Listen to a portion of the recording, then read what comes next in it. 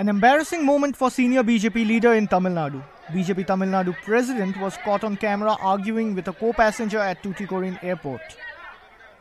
The passenger has been detained for raising slogans against the BJP. Tamilisai was seen arguing with the passenger as the person did not relent in spite of police presence.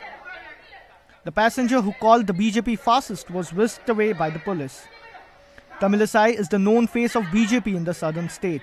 She has been its spokesperson and was the national secretary of the party prior to her appointment as its state's president. An ETV Bharat report.